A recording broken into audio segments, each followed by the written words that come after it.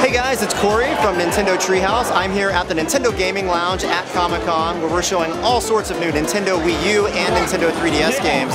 I'm lucky enough to be on the Super Mario Maker stage showing off some of the cool things about Super Mario Maker. Super Mario Maker is a game where you get to create the Mario levels of your dreams. This is like an old school Mario. This is like the original Super Mario Brothers style. Uh-oh, be careful. Go! This really is the next evolution of Super Mario Brothers gameplay. We're seeing things we've never seen in a Mario game before. To create a level, you just have to make it so that Mario can get all the way from the beginning of the level to the end of the level. And in the middle, it's all up to your imagination.